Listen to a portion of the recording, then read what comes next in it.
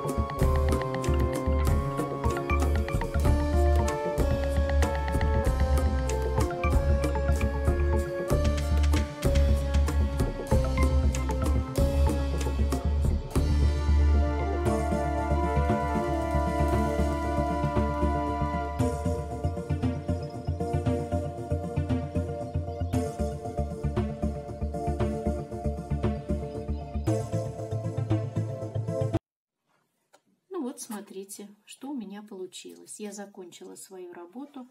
У меня получился вот такой подсвечник.